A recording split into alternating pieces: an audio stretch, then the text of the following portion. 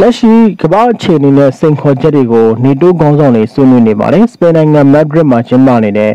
မြောက်အတလန်တိတ်စာချုပ်နေတိုးဖွဲ့ခေါင်းဆောင်တွေရဲ့ထိပ်သီးဆွေးနွေးပွဲမှာယူကရိန်းစစ်ပွဲကိုကူညီရေးနဲ့လက်ရှိနဲ့အနာဂတ်စိန်ခေါ်မှုတွေကိုနေတိုးအဖွဲ့အနေနဲ့ဘယ်လိုရင်ဆိုင်မလဲဆိုတာဆွေးနွေးကြမှာဖြစ်ပါတယ်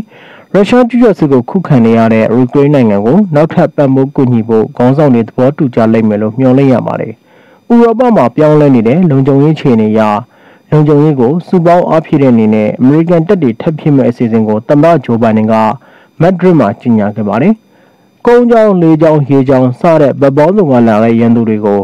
နေတိုးဖွဲ့အနေနဲ့ကာကွယ်နိုင်ဖို့မဟာမိတ်တွေနဲ့တို့အမေရိကန်ကအသေးချာပြင်ပြထားပါမယ်လို့သမ္မတဂျိုဘိုင်ဒန်ကကတိပေးပါတယ်။ဥရောပမှာငြင်းချမ်းရေးပြပြအောင်ရုရှားသမ္မတပူတင်ကလုပ်နေပေမဲ့အမေရိကန်နဲ့မဟာမိတ်တွေကလုံခြုံရေးတည်ငြိမ်အောင်တိုးမြင့်ဆောင်ရွက်မယ်လို့လည်းဂျိုးဘိုင်ဒန်ကပြောပါတယ်။ နေတိုးဖွဲ့ဝင်နိုင်ငံတွေမှာအမေရိကန်တိုက်လေယာဉ်တွေဖျက်သိမ်းမောတွေပြင်တပ်သားအင်အားကိုတိုးမြင့်မယ်လို့သမ္မတဘိုင်ဒန်ကကြေညာချက်မှာဖော်ပြပါတယ်။စပိန်နိုင်ငံမက်ဒရစ်မှာကျင်းပနေတဲ့နေတိုးခေါင်းဆောင်တွေရဲ့ထိပ်သီးစည်းဝေးပွဲမှာ